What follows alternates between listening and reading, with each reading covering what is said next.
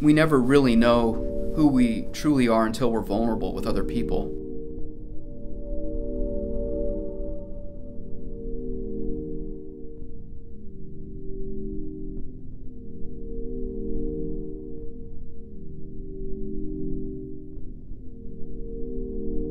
What vulnerability does is it moves us from isolation and into connection with other people.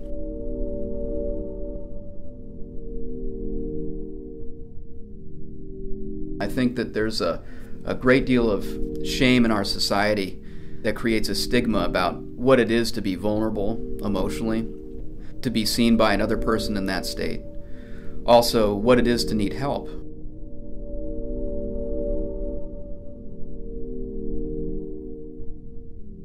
EMDR is a technique, or better explained, is a process used in psychotherapy to help uh, individuals reprocess trauma it utilizes bilateral stimulation.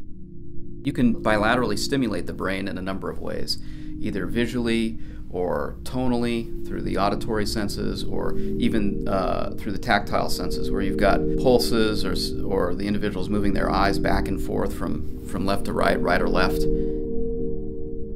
Helps people, I think, use more of their mind in order to uh, in order to perceive what's happened to them in the past, in addition to kind of uh, uh, disrupting the fight or flight uh, reaction to, to the memories that, that haven't been processed before. Individual can process a significant amount of information in a, in a small amount of time, so it actually works very quickly.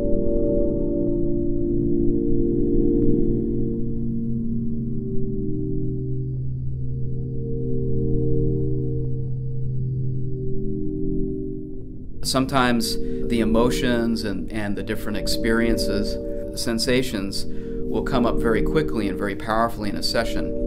But there are different techniques that you can use to help people uh, kind of manage that through the process. Grounding exercises are recentering techniques that help individuals become kind of more focused, more centered, and ultimately more relaxed in just their being in the world. Being grounded is a state of mind. It's a state of consciousness. It's also a state of felt experience for a client. You can actually feel a, shift sometimes in the energetic system in between the therapist and the client. Something has shifted in their mind about the experience. Challenging oneself to be vulnerable is, is, a, is a very powerful thing. If we try to keep ourselves from getting hurt all the time, we are we're not going to be able to to feel love. We're not going to be able to to feel the extent of our ability to hate. We're not going to be able to also be able to feel real joy or or feel an embodied uh, experiential experience of of who we are as people.